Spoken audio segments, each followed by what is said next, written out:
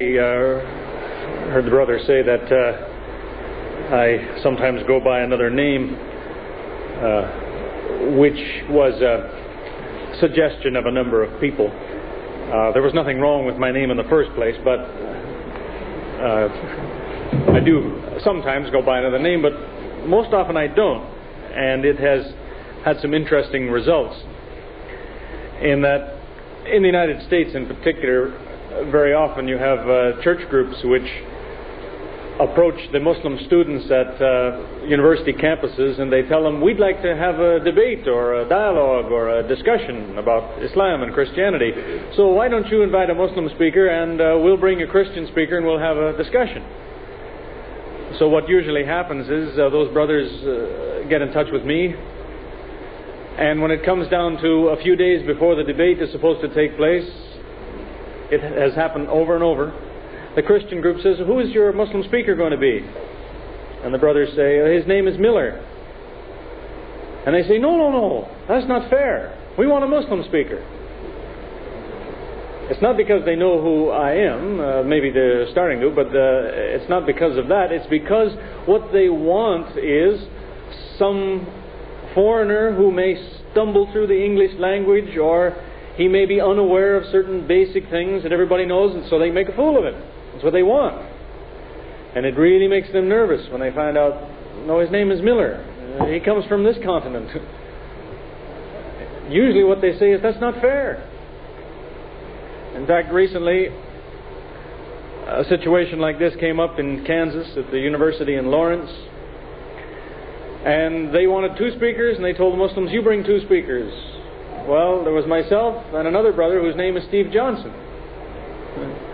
He used to be a Jesuit priest. Again, they were very upset about that. They thought that wasn't fair. In one situation in Pennsylvania, at the last minute, the Christian group became so worried that they canceled their speaker and they brought in an Egyptian Christian because they thought maybe that would counteract the effect of having a North American talk about Islam. But that Egyptian Christian made all the mistakes they were hoping the Muslim would make. he barely spoke English, and he was very unaware of certain basic things. In fact, the organizers came to the Juma the next day after this talk and apologized for the performance of their speaker. Now, I mention all of that because it leads into really the topic that's under discussion.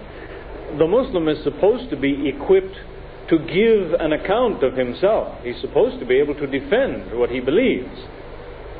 It used to be Muslims were much better equipped for that. But as the boundaries of Islamic territory spread out, in the center, the Muslim didn't have much contact with the non Muslim.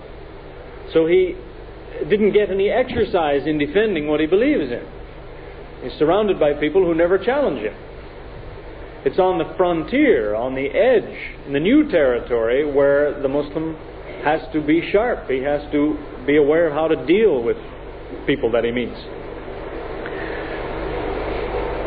Uh, a few years ago, a brother had brought to me a little booklet. It was in Arabic. Somebody had given it to him. And he was very excited about it. He said, Look here what I found. And he started going through and he is quickly translating through the Arabic. He's from Sudan himself. He said, This was written by a man in Syria. It's about Christianity. It's a Muslim writing about Christianity. And look at all these arguments that he uses. He says he uses your arguments. He quotes the same place in the Bible you quote. He says the same thing you say here and here and here. And he was turning the pages and translating so I said, When did he write this? I was very happy about this. But there's a man in Syria who's writing in Arabic about the same kinds of things I'm talking about. Well, he hadn't thought about that. He hadn't even noticed who the author was. He just had noticed that he was from Syria. So he looked again on the inside, on the cover, and this was a reprint of a book that was 800 years old. It was written that long ago when there were Muslims who used to deal directly with the non Muslim. That's a rare thing to find today, at least in that part of the world. And that's a shame. In the situation you're in here, really you have plenty of contact with the non Muslim. You can't just build a wall around yourself. You have to be equipped to deal with the person on the outside. Or, in fact, uh, you're only going to uh, suffocate yourself. You're, you're, going to defeat your own uh, community because you get no exercise. It's like muscles you don't use, and the brain is the same way. If you don't use it, it dries up. So I'm suggesting in dealing with a thing called revelation, reason, that it's something that requires thinking and practice, and we should be ready to talk about these things. I'm afraid that it's sometimes a controversial subject. Uh, there are Muslims who say reason has nothing to do with revelation. And that too is a shame because that's very much in disagreement with what the Quran tells us. As we find several ayat that tell us the Quran is for those who have understanding. It's meant to be understood. If you don't understand it, then you have a problem. It's supposed to be understood. It's a revelation. What does the word even mean in English? It means you revealed, it means unveiled. Something was covered and it's uncovered. Here is the truth. That's what revelation is. It's showing you something you didn't know. So you have to have an understanding. It's not meant to just be something that has a great deal of blessing just wrapped up in the sound it makes when somebody recites it. There's a message there as well. The sound is beautiful, but it means something also. A friend of mine is by birth uh, Palestinian, so he's spoken Arabic all his life.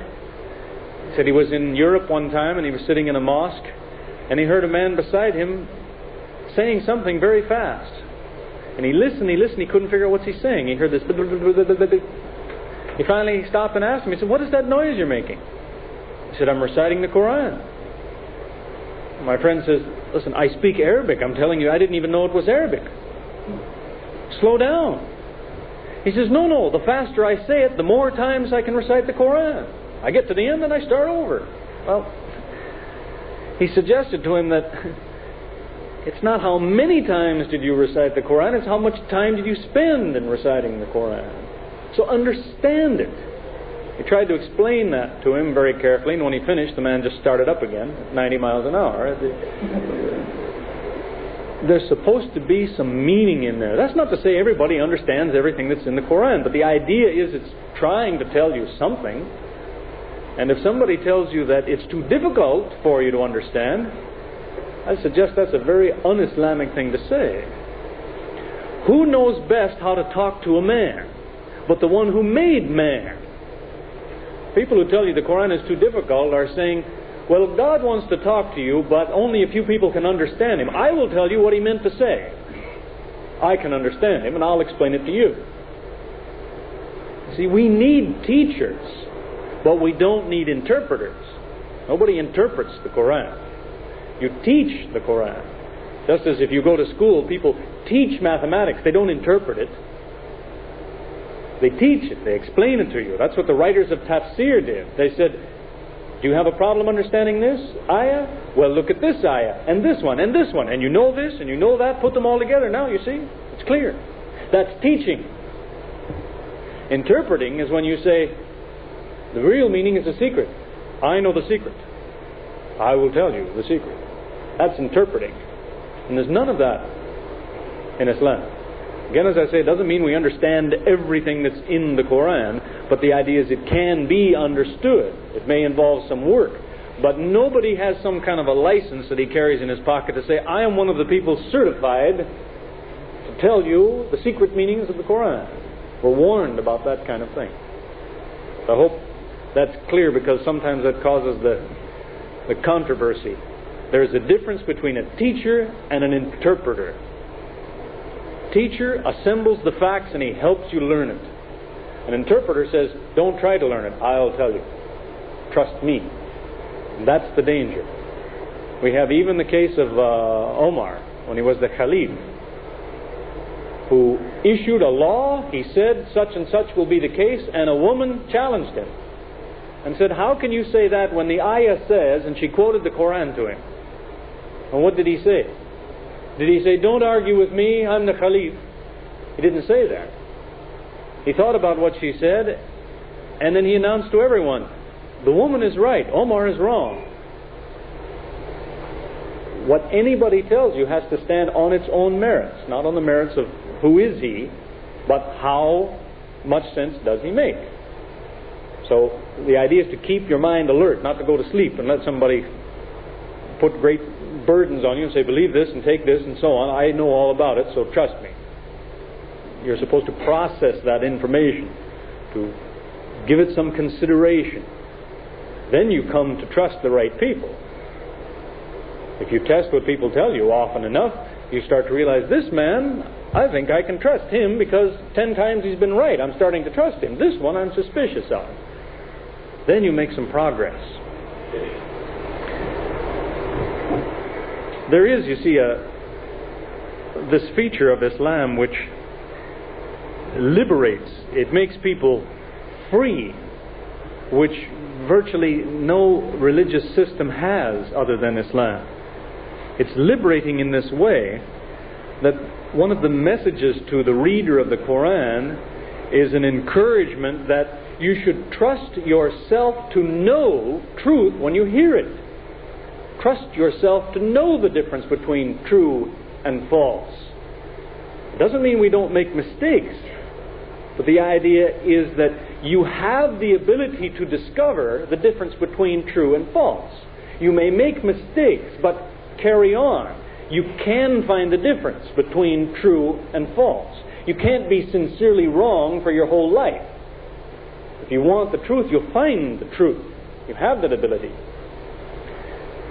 You don't find that in most religious systems because, in fact, they will tell you that the truth is, when it comes to religion, is a thing you just have to accept. Somebody gives it to you and you take it. Don't try to analyze it, to take it apart. And they defeat themselves in this. You see, the Quran wants you to analyze what you hear. It tells you to analyze the book you're reading when you read the Quran. Don't just take it because somebody said you should, but think about it. Isn't it so? It asks you again and again, Oh man, haven't you considered this? Can you not see this must be true? Again and again, in many, many points, saying, You know this and you know this, so you must admit this. That's analysis. In English, uh, those, uh, the word comes from two Greek words. Ana from the, means up, and uh, lysis, or lies, almost like it sounds in English, means loose.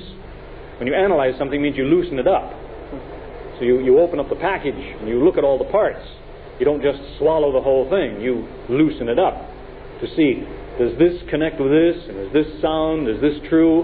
You analyze it. Just a few months ago, I was in uh, Kuala Lumpur, and there was a missionary had come to one of the talks that I gave, and I explained the kind of thing that I've been talking about here, and he stood up to say, in the question period. He said, No, when it comes to religion, you can't analyze. He says, The mind cannot tell the difference between true and false. He says, You have to be like the gold coin dealer. And he tells a nice story. He says, Men who make their living dealing in gold coins can tell the difference between a gold coin and one that has lead added to the gold by the sound it makes when they drop it on the table. The gold coin dealer will take a coin. If he has never seen it before, he may bite it. He drops it on the table. He says, Ah, this has a little bit of lead in it. It's not pure gold. He says that's the way truth is. It comes from the heart. Can't explain how, but when you hear it, you know it. Well, his problem is the gold coin dealer doesn't do this trick by magic, he does it by analysis. It's years of experience that have taught him when you throw a piece of lead on the table, it goes plop. And when you throw a piece of gold on the table, it goes ding. That's analysis. He knows that by sense. It's not by some magic gift he has. He learned that by experience. So, what he didn't seem to realize is that the method he's talking about is my method. He doesn't understand how the gold coin dealer works. You're supposed to learn over the period of your life how to tell the difference between true and false so you don't fall for the lies that people tell. It's also unfortunately true that as human beings, anytime we hear a new thing, a strange thing, we're not likely to believe it. But what often happens is if we hear it several times, then we start to believe it. Because it doesn't sound strange anymore. We've heard it before. So we start to believe it. As some people have said, if you repeat a thing often enough, then people believe it. It may have been false to start with, but keep saying it, keep saying it, and finally, people will start to believe it. That's unfortunately true. So it's one of the things we want to ask ourselves. If we're trying to defend what we believe in, we want to ask, why do I believe it anyway? Is it because I've heard it so many times? Or do I have a reason to believe it? If you believe it because you've heard it many times, then you're never going to be able to convince somebody else, unless it's just by repeating it to him over and over. But what most people want is a reason to believe something. So it is that, in fact, many things that people believe are not believed because of reasons they have. They don't so much believe things as they give excuses for why they believe what they believe. Uh, that is, uh, somebody may tell you some strange sounding thing as part of his religion, and when you say, How can you believe that? You say, Well, doesn't it sound like it might be true? And he tells it to you in a beautiful way, and when he's eh, finished, the beauty of the story is supposed to convince you that it might be true. In fact, they have a song about it that some uh, some churches sing.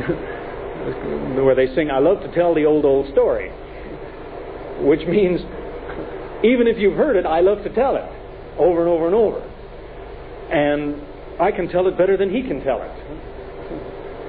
So that I meet this kind of thing very often when I get into discussion with people, and they'll tell me what they believe, and I say, How can you believe that? He says, Well, once more, let me explain it. And he gives a beautiful explanation of how it's supposed to work and I tell him, You've just told me how it works, you haven't told me why it must be true. Then his friend will say, No, no, no, wait, let me do it. so he tells you the story, only he puts it in better words. Some people want to sing it to you. And they say the more beautiful the telling, the more likely you are maybe to believe it. But the Muslim is supposed to be alerted to that thing. See, that was one of the things the Meccans first challenged when the Quran was revealed. Yes, thank you. The Meccans were suggesting maybe all that is is beautiful words. This man is a poet. He's trying to get you to believe something because he tells it so nicely. And so that is replied to in the Quran to say this is more than the words of a poet because, and gives many reasons why. It's not the form that does the convincing, it's the content. What does it say that is supposed to convince you, not how nice does it sound when we say it.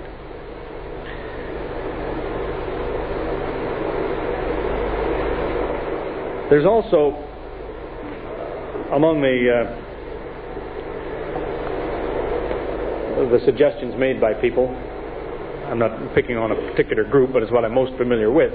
Um, the Christian, in particular, will say to the Muslim, "I may believe in a lot of strange things, but uh, your problem is you can't make enough room in your mind for this." See, if you just make enough room to accept some of the things that I say, you're being narrow minded. You're too cautious. Make room. Be generous. Admit that maybe this could be so. They tell us that and they say that over and over in such a way that it wants to make you ashamed of yourself. As though, well, maybe I should give him the benefit of the doubt. Maybe I should find a place for that in my mind and say, maybe that could be true. And yet, if you think about it, Imagine, if you could, that the situation was reversed. Suppose it was Muslims who believed in the Trinity. Suppose it was Muslims who say, once there was a man who also was God. Once there was an infinite being who used to be only that tall. And so on. And suppose it was the Christians who said, no, no, God is one. He could never squeeze himself into a body, and so on. Suppose that was the situation. Then how generous do you suppose the Christians would be with the Muslims? I suggest it's very likely what you'd be hearing all the time from the Christian is, look, you foolish people, can't you see this doesn't make any sense? And so on and so forth. But because it's the other way around, it is they who tell the Muslim, don't reject this. Maybe it's just too big for your mind to understand.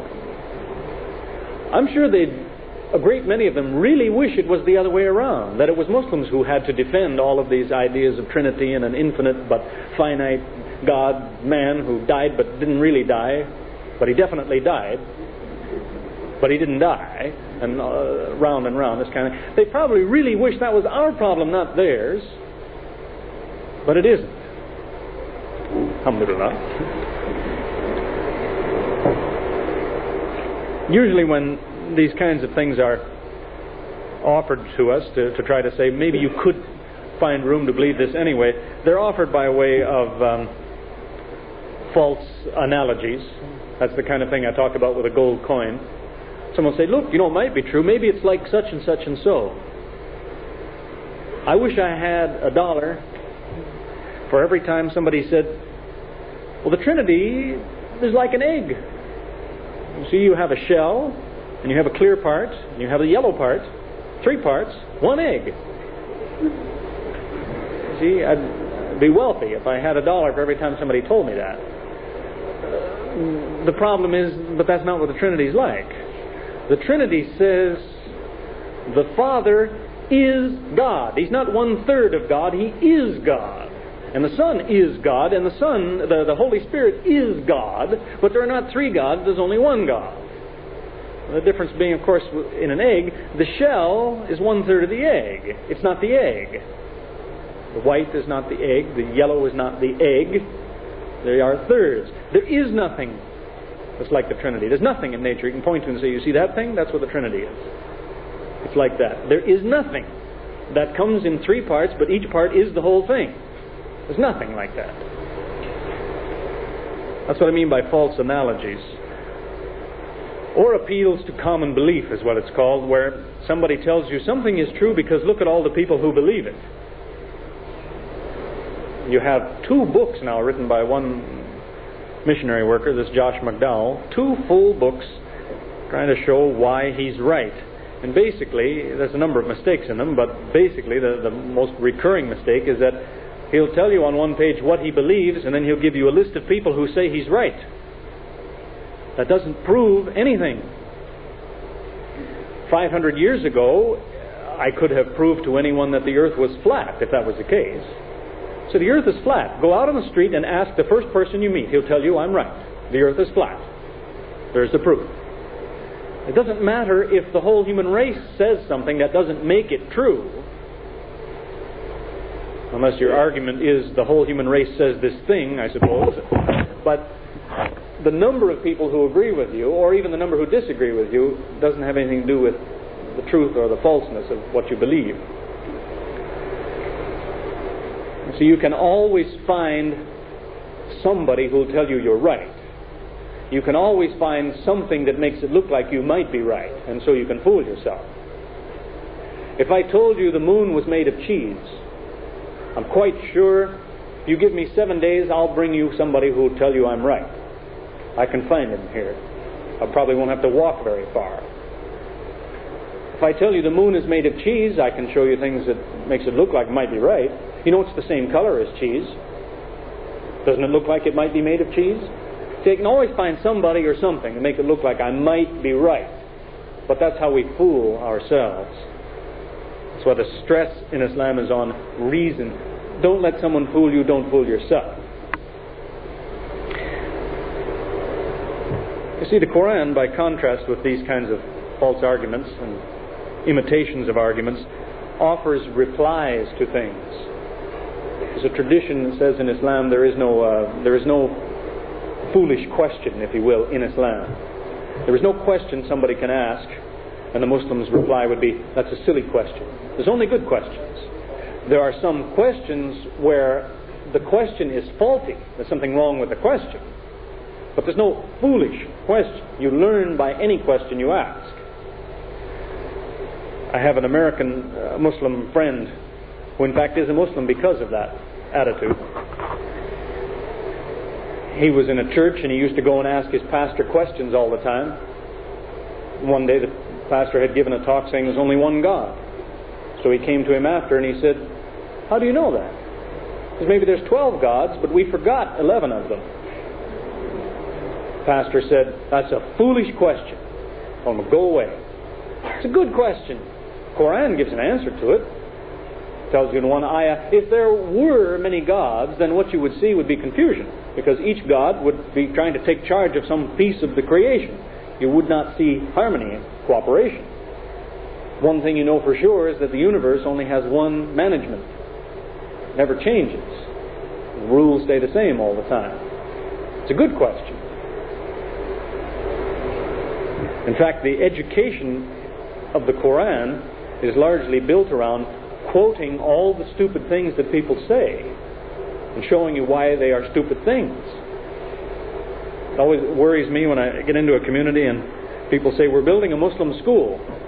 That can be a good idea, but usually you find people who say, What we're going to do is put up a big wall and put our children in there, and we'll hide them away from all the lies that people tell. Well, then you're not educating them Islamically. Islamic education means you show the people all the lies people are telling. You show them why they're lies. The Quran quotes every kind of foolishness that anybody ever thought of. That's how it teaches you. It's telling you when you go out on the street, you may meet someone. He'll tell you this. When he does, you tell him that. You don't educate anyone if you hide all of these things from him. You say, the truth is just this. Don't listen to anyone else. You listen to other people and you learn how foolish they are and you come to appreciate what you have more. That's the real education. Islam, then, is really based on a, a number of things that don't require the kind of proof that other people are so concerned about. You know that in the United States, half of the printing that is done that's printing of any kind books, newspapers, magazines. Half of the printing done in the United States is done by the evangelical churches. Take all the paper and ink used up in the U.S., half of it is used by those one small group of churches. Now, you might think, well, they must have a lot to say then, because they use up half the ink in the U.S. Uh, they don't really have very much to say at all. But it's because they are in a position of having to defend so many things which cannot really be defended. It only gets worse. The more they try to patch it up, the worse it gets. That's why you have about 35 English translations of the Bible. Each one was trying to fix up something that the last one messed up. And it, it just gets worse each time. That's, I'm not meaning to ridicule, but that's really what happens. Truth is in agreement with the facts, and if you keep trying to cover up the truth, then you cause some problem in another place. It's just as, um, you know, this carpet that is laid wall to wall. You find it in some homes where they, it runs from one wall to the other and it's tacked down tightly.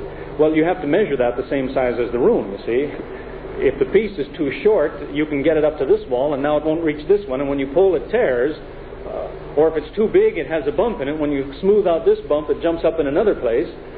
That's the way falsehood is when you try to cover the truth with something false, there's always going to be a rip or a bump somewhere. So no matter how many times you try and smooth over something you've hidden, it causes a new problem in another place.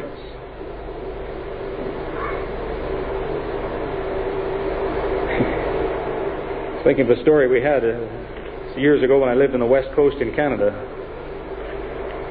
It was a story of a man, a true story, who worked for a uh, one of the big stores there. His job was installing this carpet. And uh, he was in a brand new home and he put in this wall to wall carpet, and you, you have to tack it down carefully all around the edges so that it's completely tight like the top of a drum.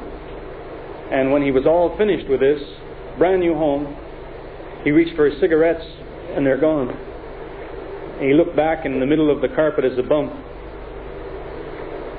So he figures that's where my cigarettes went. It'd take him all day to tear up the carpet and get his cigarettes back. So he took his rubber hammer and he went over and he hammered down this bump, stomped it down, smoothed it out, and he thought no one will ever know the carpet will be here for 20 years. But the cigarettes are smashed flat. Then he went out to his van, and there were his cigarettes on the seat.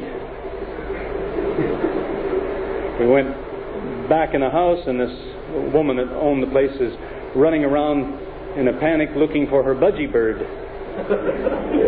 So, see the point I'm trying to get at? You try and hide the truth, you make it worse.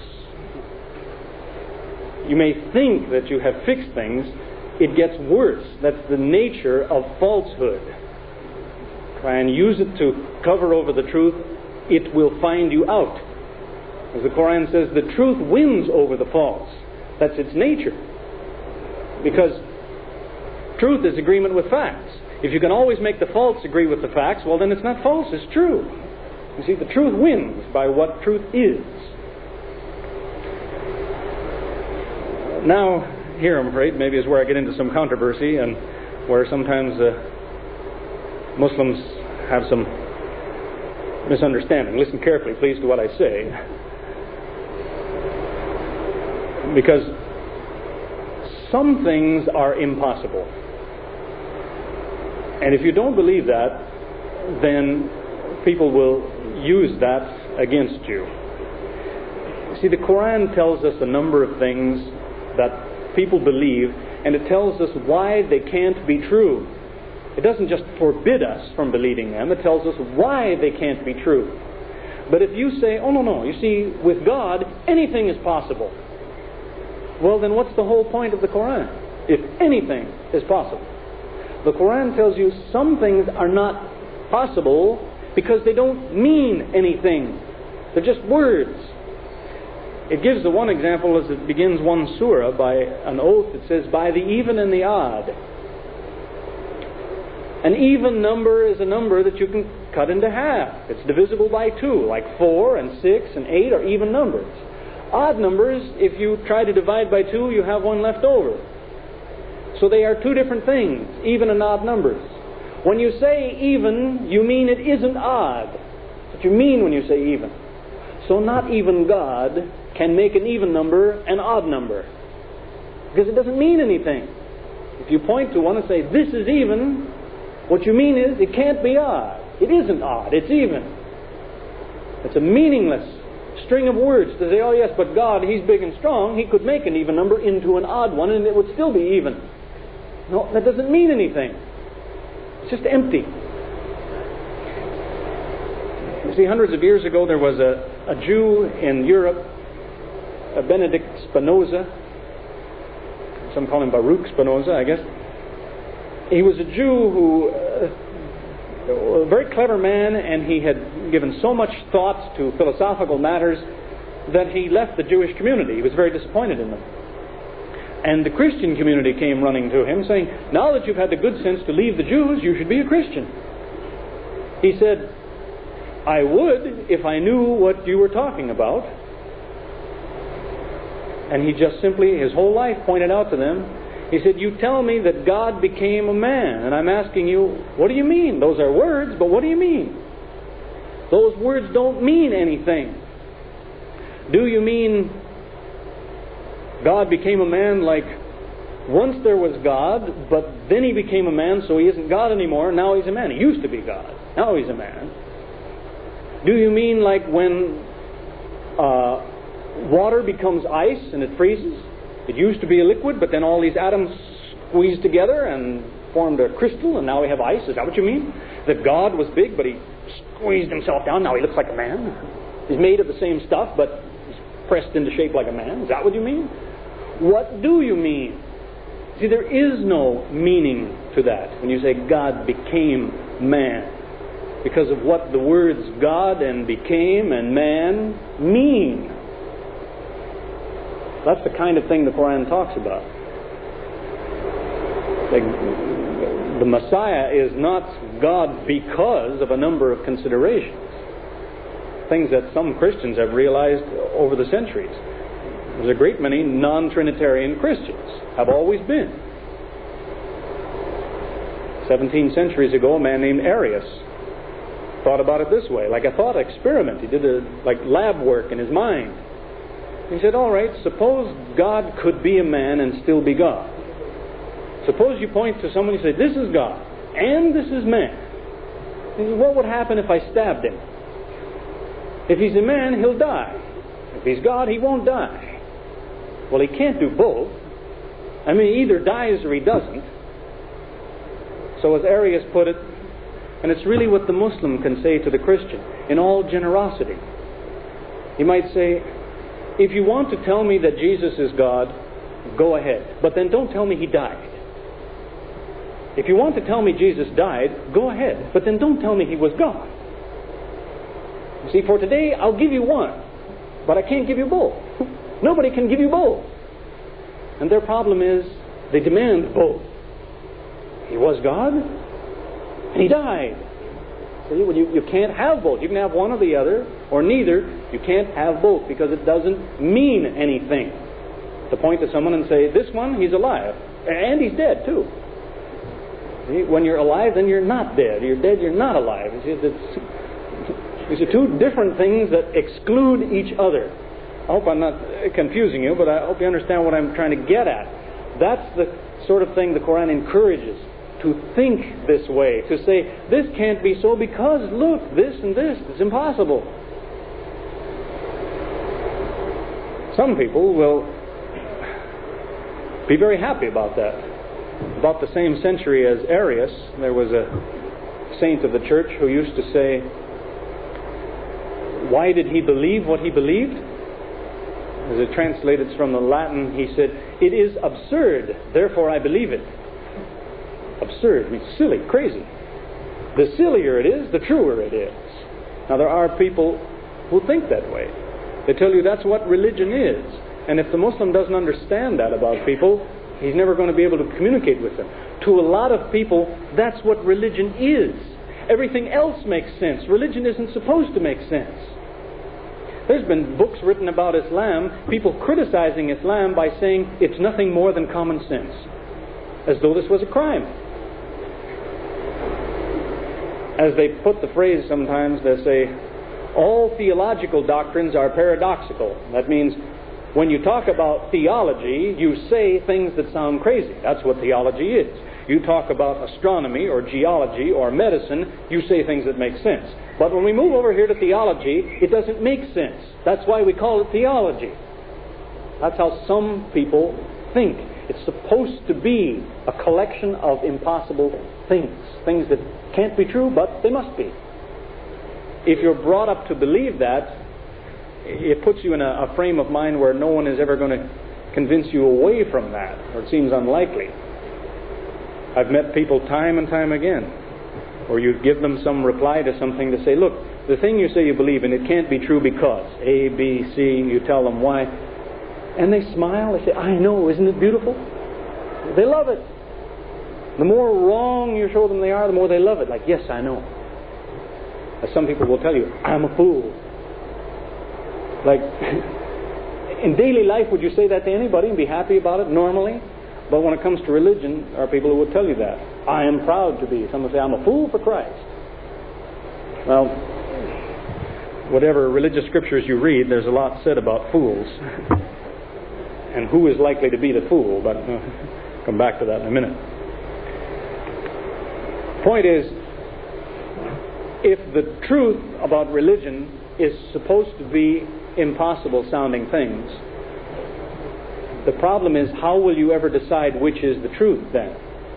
You see, some man may come to you and say, Let me tell you this, it makes no sense at all. And another man will come and say, No, no, I have something different. It doesn't make sense either. Mine is true, his is false. How do you decide between two things that don't make sense? The only way to judge when something is true is to at least it has to make sense. That doesn't even make it true, but at least it has to make sense. To say, this one I disregard, it doesn't make sense. You see what I mean? Uh, if people have competition between two kinds of nonsense, how do you choose between them? to choose between them, you have to use good sense. And yet these things are nonsense. They don't have any sense. What some people will then tell you is that they believe the unbelievable. This is why they have a great reward, which is an interesting idea. People will tell you, the more impossible things I believe, the greater my reward in paradise. That's an interesting idea, but I don't know of any scripture that says that anywhere. That's an idea that some people have made up. I don't know any scripture where it says this will be impossible, but believe it anyway, you'll have a reward. If you believe, the more silly things you believe, the greater your reward. I don't know of anything that says anything like that. But that's how some people run their lives. And they'll tell you very proudly, they say, I believe what is unbelievable. But what does that sound like somebody saying? By definition, I think if you looked it up in a dictionary, you might find under the word foolishness, you might find in there a fool is somebody who believes what is unbelievable without any proof. That's being fooled. And in any scripture you read, who is likely to be fooled, the good or the wicked? Who gets fooled in life? The good people or the wicked people? And yet some people will brag to you to say, Yes, I'm a fool. I believe foolishness. There's also people who will tell you very profound things and uh, use this by an illustration of a, a Quranic method that is the way to reply to so much of what people say. When somebody tells you something, you take what he said and apply it to what he said.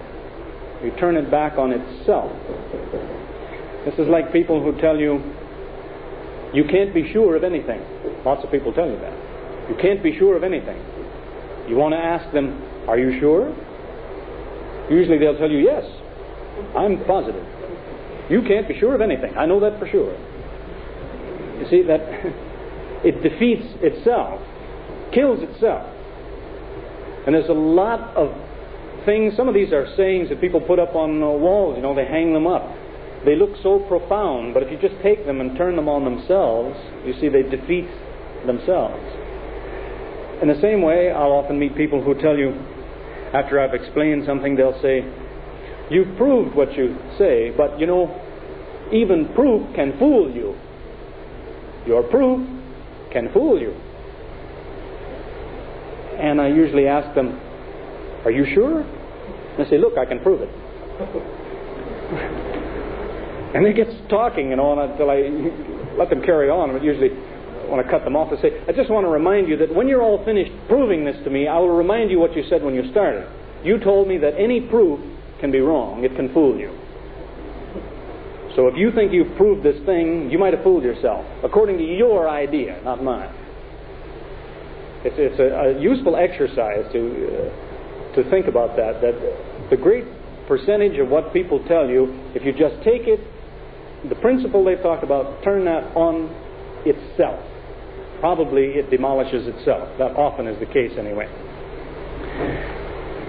Another piece of advice uh, in trying to give an account of what you believe back to people that I'd suggest, and that is when you talk about a topic with somebody and you keep asking questions and they keep giving answers, at some point they may give you what sounds like a good answer.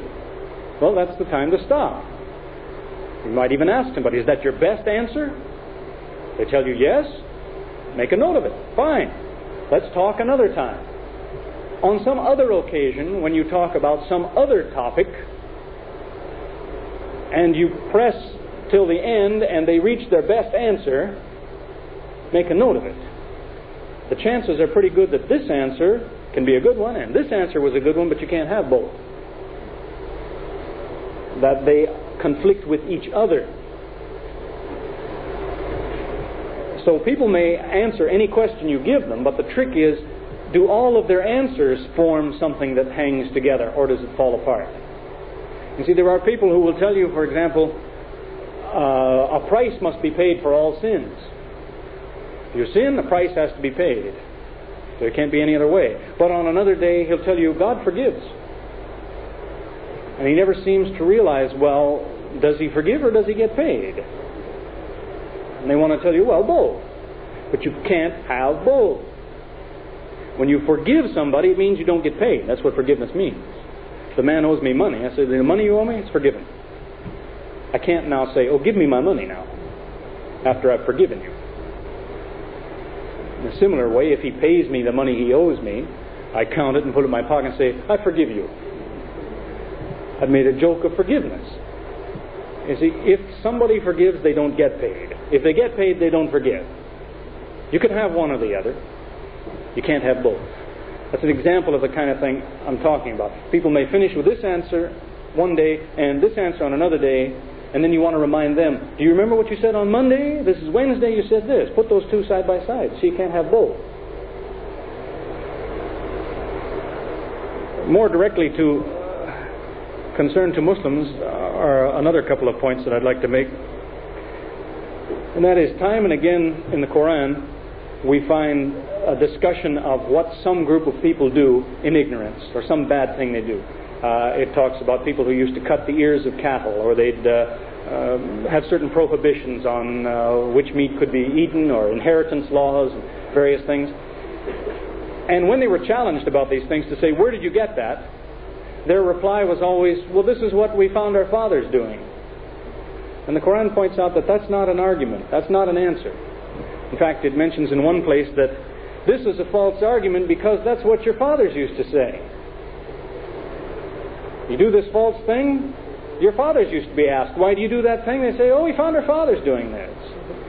It doesn't establish anything, it just puts the blame somewhere else. But if that's not a reason to say, I do this because I found my father doing it, if that's not a reason for unbelievers, it's not a reason for believers either. It's no good being a Muslim, and somebody says, Why do you do the things you do? And you say, Well, my father showed me. It's not a reason. The father can be a big help to you, but that's not the reason that it's right, because your father did it. Each person is supposed to establish that for himself, to realize and reflect on these things. As one ayah says, when you read the Quran, it says, read some and think about it, and talk about it in groups of two. It says, face to face, talk about what you read with somebody. So it starts to mean something to you and you understand what's going on. You don't just take it because somebody gave it to you. It has to mean something to you so that you really do submit. I had the experience one time in uh, I was in Los Angeles and uh, an Egyptian man was driving me to the airport and he mentioned as we're driving he says to me, "How long have you, been a Muslim?" And at that time I think I told him 6 years or something like that. He says, Oh, longer than me. Uh, see, he's an Egyptian, about 40 years old, and he's been making salah since he was 15, I suppose. But in his own mind, he says, You know, I've only been a Muslim for a couple of years. Because before that, it was just a habit. Until one day he woke up and realized, This is true. It's not just a habit, it's not just something I was handed. It's true. I can prove it. He thought about it. That's when, in his opinion, he said, that's when I really became a Muslim, when I submitted, because I admitted this is true, and those are the false things, and these are the true things. Now, how do you put yourself in that frame of mind? Well, the Quran starts off by telling us, before we get very far at all, right into the second surah, the second ayah, it tells you who this book is for. It tells you it's a guidance. It says, Hudan lil a guidance for those who have taqwa. So if you don't have taqwa, it's not going to lead you anywhere. What is taqwa? What is this thing you have to have before this book does you any good? Well, taqwa is often misunderstood too. It's translated in English sometimes by piety, which is not a very good translation.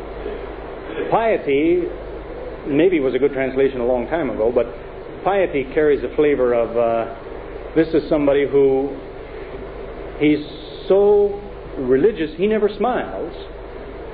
He eats bread and water. He walks around with his head down and his hands folded. Uh, he maybe wears, they used to wear hair shirts. You know, they, they make a shirt with hair on and turn it inside out so the hair would scratch them all day. And uh, these kinds of things. That's piety. That's not what taqwa is. Taqwa has to do with, well, it was illustrated, in fact, as is reported by Omar, when somebody asked him, What is Taqwa? and he was trying to draw a picture of it. He said, Taqwa is like a man who has a long flowing robe and he has to walk in between the thorn bushes. So he sees the thorn bushes and he thinks about it and then he pulls his clothing in around him and then he walks in among the thorn bushes so he won't catch his clothing. Taqwa means, in other words, he's aware of his environment. He takes notice of everything around him. He's alert. He sees which action is called for on every uh, circumstance. Awake and alert. That's taqwa, or a shade of its meaning. If you have taqwa, it means you realize your place. That some things are beneath you and some things are above you and you have an understanding for what is your place. So you don't reach for the things that aren't yours, and you don't lower yourself to the things that are beneath you. You deserve better. That's taqwa, or a start of it. But your eyes are always looking around you to think, this is a good thing, this is a bad thing. I'm not sure about this, so I'll wait until I decide, and so on. That's taqwa. You're being careful. Then this book is a guidance for you. Huda because it starts to tell you take notice of this and take notice of that and don't forget this. It keeps pointing your face at what is important, what matters in life. Because there's a great many things that don't really matter when it comes to certain other things. As you might say, it doesn't matter if there are men living on Mars, I still have to find something to eat tonight whether this is true or not, I know I have to do this.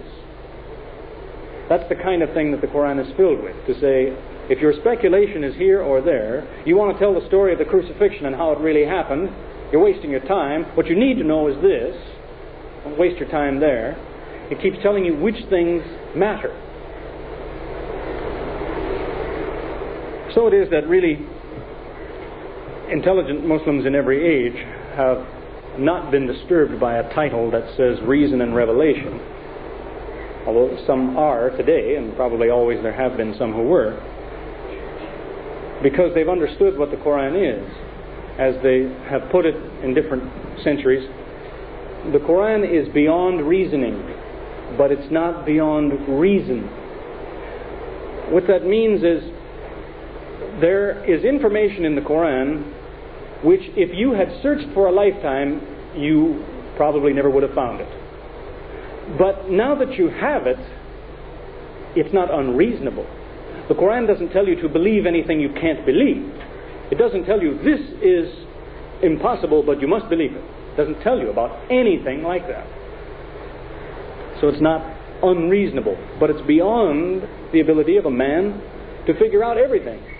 You could discover a lot of things for yourself. Do you know that a few hundred years ago in Europe there was a, a version of the Trinity being preached which wasn't totally accurate according to the church?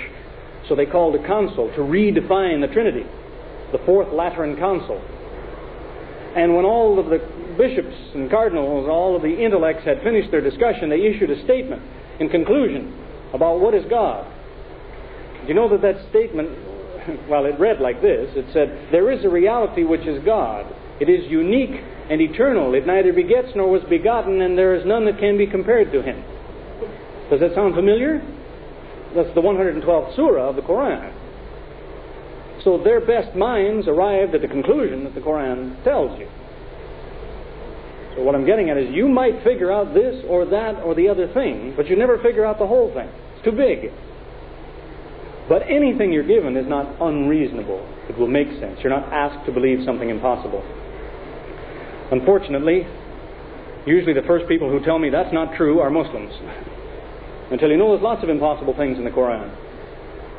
And whenever somebody mentions that to me, I always ask them for an example. So like, which, which impossible thing are you thinking of? And they always give me the same example. They say the resurrection of the dead. It's impossible. That's what the Meccans used to say. That's why the Quran answers them several times. It challenges them, says, Do they say the resurrection is impossible? Have they considered this? It mentions, as an example, have they considered themselves? What were they?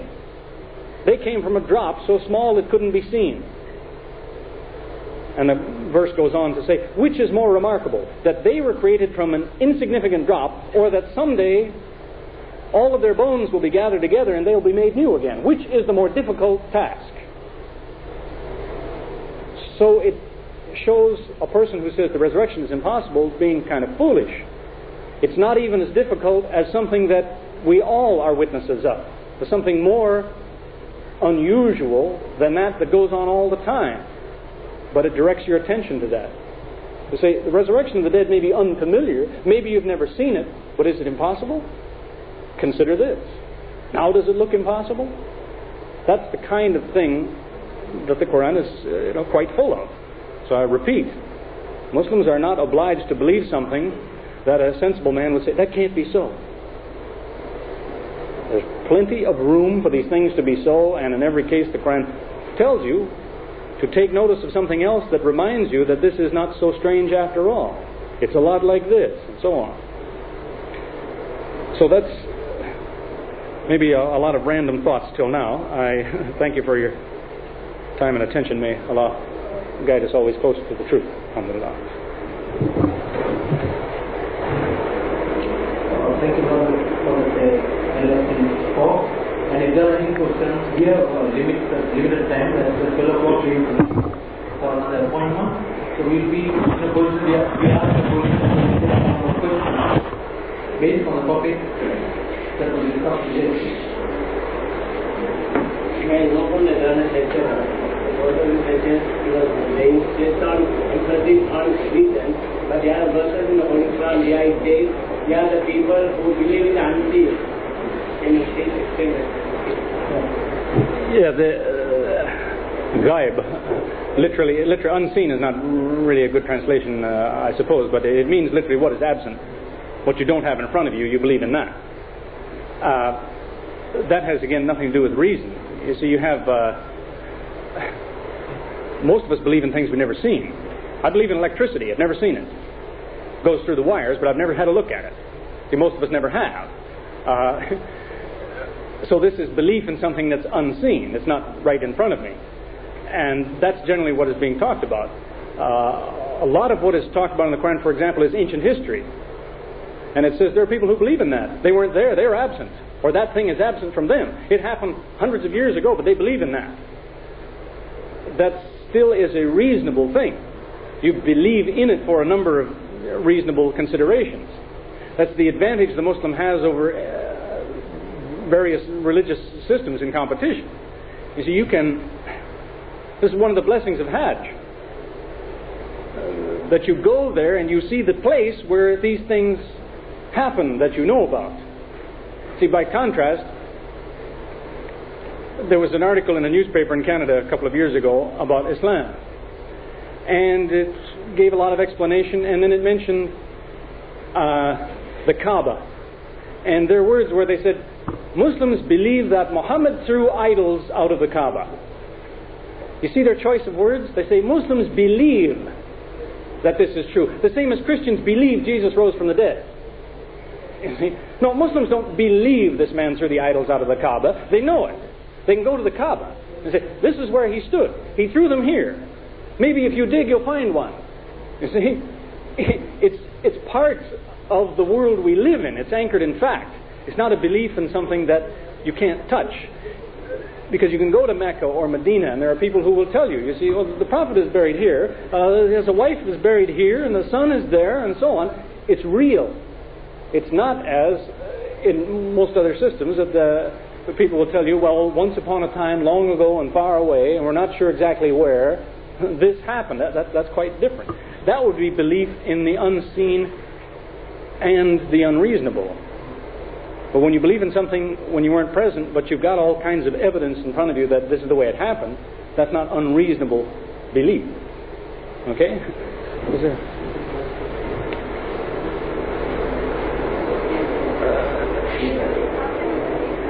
I can hardly hear you from the.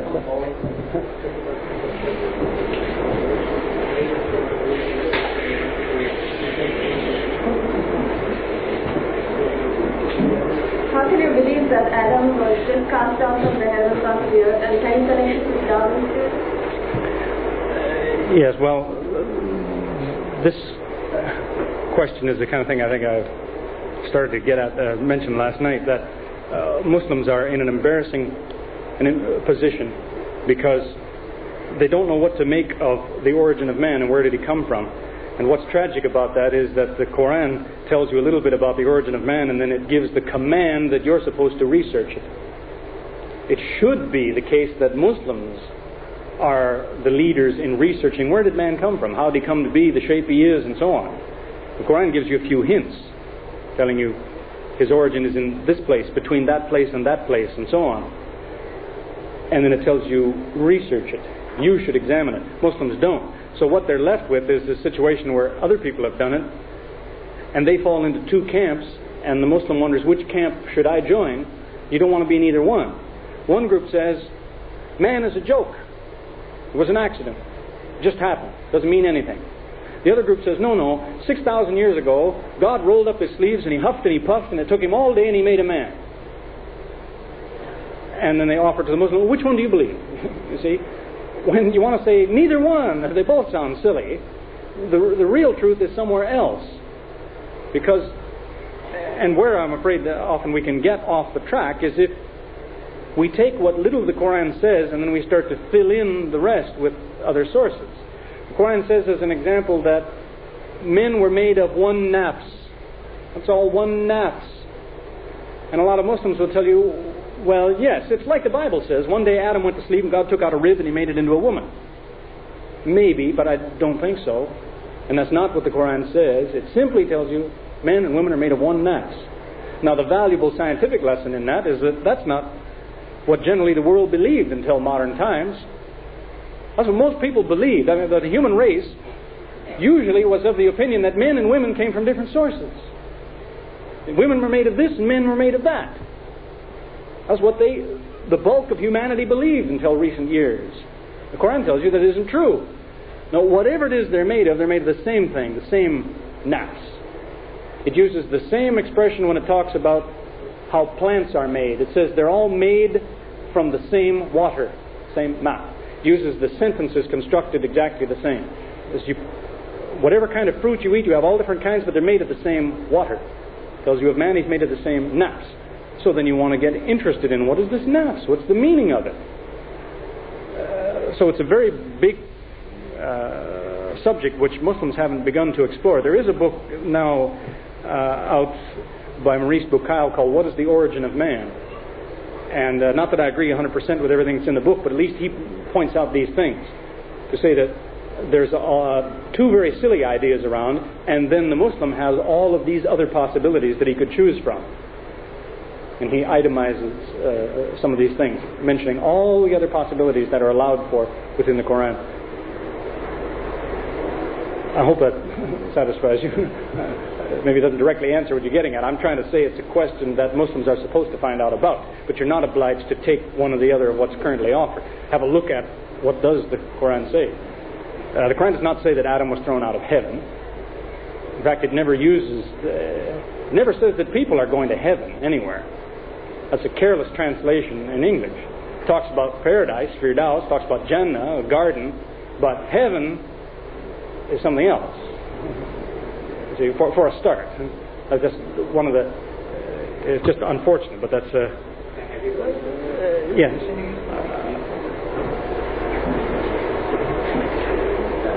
A matter that uh, you might not have touched in your talk, but uh, just wanted to this. The Quran mentions the concept called the jinn. Would you like to explain that? Uh, yes, well, that too is uh, jinn is something that uh, maybe people ought to examine because uh, myself I found in anything that I've ever tried to figure out from the Quran that usually the, the answer was in the, the origin of the word. What did this word mean originally? Um, see, a, a lot of Arabic words in the Quran are used by Arabs today, but they have new meanings. They don't mean what they meant all those centuries ago. They've acquired other meanings. So if you pursue to the original meaning, you have a clue as to what it means. And that word comes from a root which I believe means uh, hidden or something like this. Uh, so there are those who would say, well, whatever the jinn are, this is somebody we don't see. Whether that means a man who lives in the hills, or it means an invisible spirit, or whatever it means, I don't know. But so far, that's all the Quran has said. That there are communities that you don't see. Well, that's not too hard to understand. that could be the case. There's probably people living on this planet that no one knows they live there. They found some people in uh, the Philippines a few years ago who lived inside an extinct volcano. Nobody ever knew they were there. They never met the outside world, and they thought that volcano was the whole world. You see, so in a sense, you might say, these seem to be jinn. They've been hidden from the human race till now. That's just one uh, option. It may well be something else, because it, uh, the Quran mentions of the jinn apparently being made of something different than what man is made of. Well, maybe these are not men, but they're something else. Uh, but again, that's not hard to, uh, to understand. It's open to investigation, that's all. And not, I'm not particularly interested, and I don't think that it matters to, uh, to people. But the best I can do is try and tell you that, again, it's not an unreasonable thing. There's all kinds of room for this idea. Well, I get too far off the subject, but I told you more about it. Somebody uh, sent a question here, so uh, let me mention this. Um, uh, I want to know if I talk to Christian groups here. Uh, I guess there's no specific arrangement, although anybody is welcome. Uh, they're saying, what would you suggest could be said to a Christian who rejects the Quran by quoting the last part of, actually, it's about the third last sentence in the Bible, which says uh, something like this Whoever adds to this book uh, will be punished, whoever takes from this book will be punished. See, a lot of people will tell you this is the part in the Bible where it says the Bible's finished. There's no more revelation. You Can't take from this, you can't add to this. Funny thing is, if you ask somebody who tells you that, in which book of the Bible do you find that? See, there are 66 books in the Bible. You find that in book number 66. It's almost the last sentence in the Bible. So they say, you see, here's where it says, this book, don't add to it, don't take from it. But that book is called the Apocalypse, or sometimes the book of Revelation, one of 66 books. Now ask the person who told you that, when was this book written? Was it the last book written in the Bible? Maybe they won't know, but if they go and look it up, they find out it wasn't. There were three more written after that. They are put in the Bible ahead of that book. First, second, and third John, three short letters of John, were written at least two years after the book of Revelation. So you want to ask them, well, if this book says don't add to it, how'd these get in here in front of it? They were written later. And that's where they have to be more honest with you to say, well, when it says don't add to this book, it doesn't mean the Bible. It means this book, Revelation, this last one, number 66. Don't add to it, don't take from it. And that's, that's all it ever meant, of course. It's just been by carelessness that the books are not arranged in the order in which they were written. So one book which says, this book is finished, has been made the last book of the Bible. So when you read that sentence, you think it's talking about the whole book. It's not. It's talking about itself. Okay, I hope that's clear. They can check that out anywhere they like. Uh, look in uh, any church source will tell them the book of Revelation was not the last one written. So if it says it's finished, you, they have a real problem. Any more questions? Please come up. Please come up here.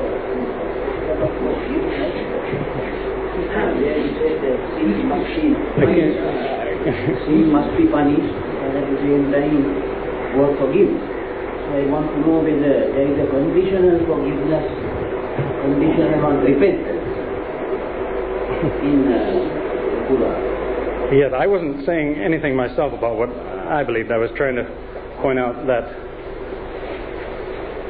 people try to take both positions. They will tell you sin must be punished, and they will tell you God forgives. And so when you say, well, which does he do? Does he punish or does he forgive? And they tell you he does both. That's where you have to say, but you can't do both. From the Muslim point of view, it's simply a matter of every sin must be punished unless it's forgiven. You see, so if it's forgiven, it isn't punished. But every sin comes into one of these categories. It is either paid for or it is forgiven all of the accounts are, are set straight. That's the uh, that's a, a, concept that's not easy to understand to uh, many religious uh, religions, because they think of sin as though it's a condition that describes you totally. Whether you do one sin or a thousand sins, that doesn't matter. You're a sinner. So you either are punished or forgiven. See, the Muslim says, no, it doesn't work like that. It works the same way as the legal system works. You get punished for what you did, unless you get forgiven. You see, their, their problem is, is that if you are a sinner, you all have the same punishment. It take uh, somebody who used to talk nasty to his grandmother and somebody who killed hundreds of people and say, well, they're all sinners, same punishment.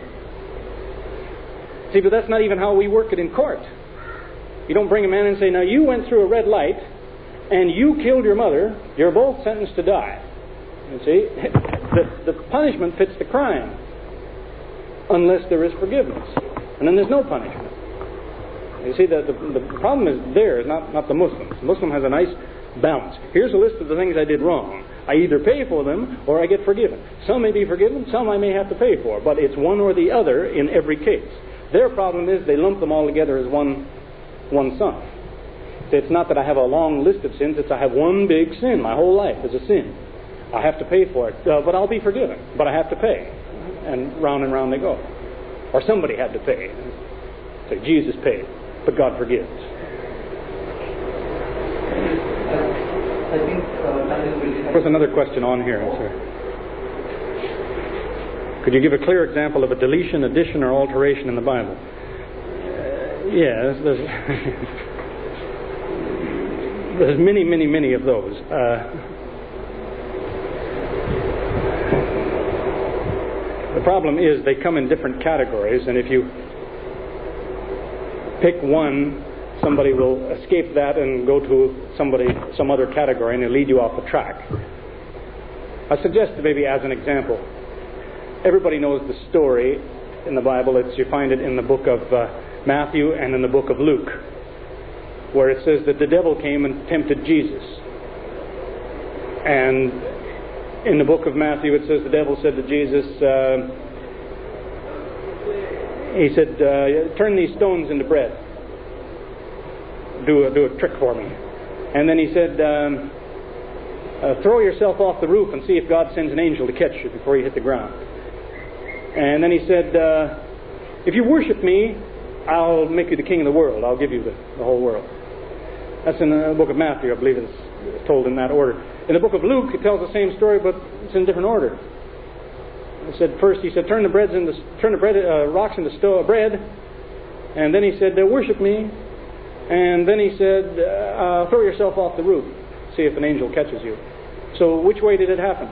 Was it one two three or one three two? So you have two men telling the same story, but they put it in a different order. It's obvious it's the same story, different order.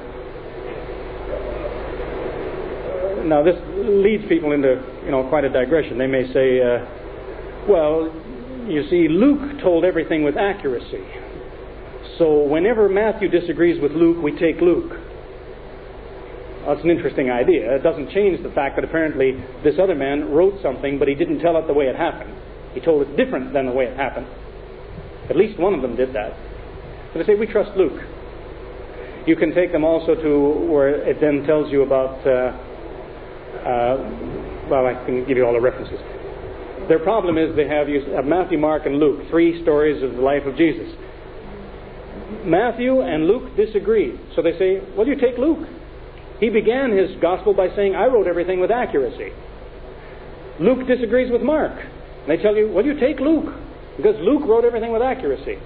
But now we have a problem, because there's places where Matthew and Mark disagree, and Luke doesn't say anything. So which one of them is right? Luke is supposed to be the corrector, but he doesn't make no comment on in various parts. Maybe an easier one. in the book of Ezra, chapter 2, verse 5, it gives you a long list of names in this chapter of people and how many sons they had.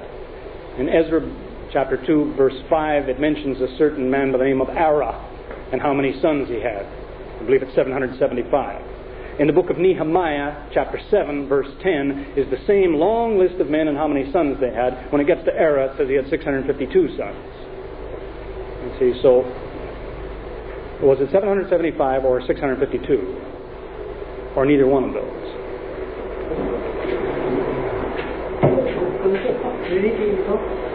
My Christian friends place a lot of emphasis on it. But I noticed that it doesn't appear in any of the early copies of the Bible, right? Trinity Yes. doesn't appear in any copy of the Bible uh, till now. Uh,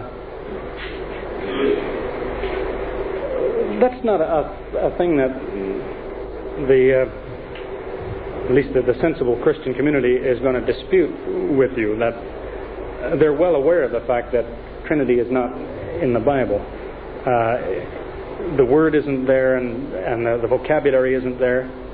Uh, so what they do is find what seems to tell them it might be true. This is like that thing I said, you can always find something that makes it look like you might be right. And so I said, if the moon is made of cheese, I can tell you it's the same color. Looks like I might be right. You can do that with the Bible. If you say Jesus is God, you can find some things that look like you might be right. You can find a place where he's reported to have said, Who honors me honors God. Sounds like maybe he's saying he's God, but maybe not. Quran says, Who is uh, loyal to the messenger is loyal to Allah. Doesn't mean they're the same person. In the same sense, neither does it necessarily mean that Jesus says, Who honors me honors God, means I am God. But it might be, so you use that. And so you take what looks like it might help you. And that's the closest you can come to trying to uh, defend that idea. Okay, come. Yeah, we have just one more patient, question, and yeah, I think we'll bring down the curtain on this one question. Yes, sir. Brother, you mentioned about uh, Mutaki in your lecture. Yeah. And uh, guidance will be uh, sort of got only by the Mutaki. Think that verse, uh, the following verses, it sort of goes on to say who the Mutakims are. And my question is, uh, what is the position of uh, non- non-Muslims? Whether uh, the book is not a book of guidance for the non-Muslims. How are they going to get into the Quran?